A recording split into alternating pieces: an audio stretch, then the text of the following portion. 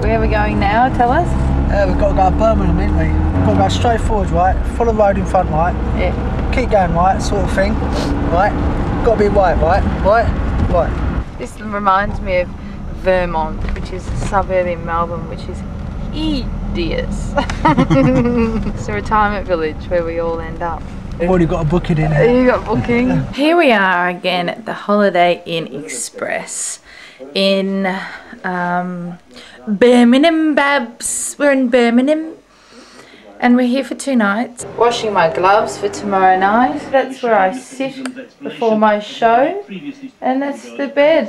Haven't had any action in there for a long time. Actually feeling like I need to really prove myself tomorrow night again and do it better and better and better and relax and talk slowly and really connect. So this is over and out from the Holiday Inn Express in Birmingham. I'm a little frustrated today. I think I'm really PMTing really badly. This hotel's really doing my head in.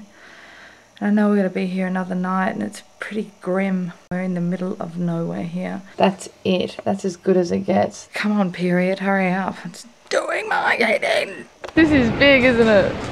11500 Oh, fucking hell.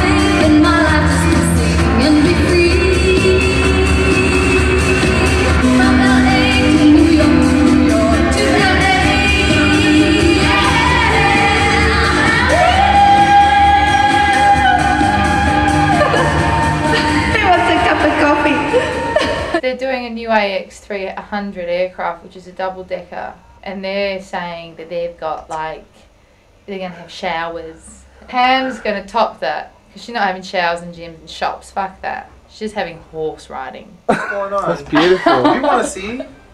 yeah? Oh, wow. E.T. get, get on your bike. Last night went really well, I thought, until um, people said that I was possibly screaming. I didn't think I was screaming. Maybe I was.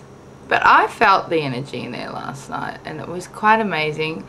11,500 at the NEC. As you can see, I, I'm getting this Cher thing.